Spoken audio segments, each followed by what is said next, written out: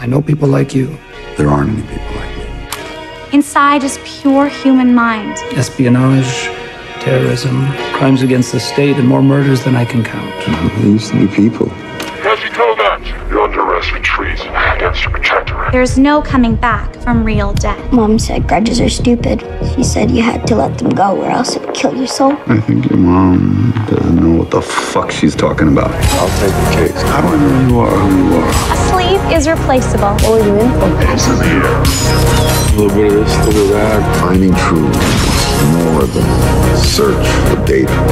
Blessed to share her bone and blood, you will someday realize the holiness of she who endures. Rip your stacks out and feed them to the shredder. They can kill your families, your friends, your dogs and cats, and fucking goldfish. You're just like her. But if your stack is destroyed, you die.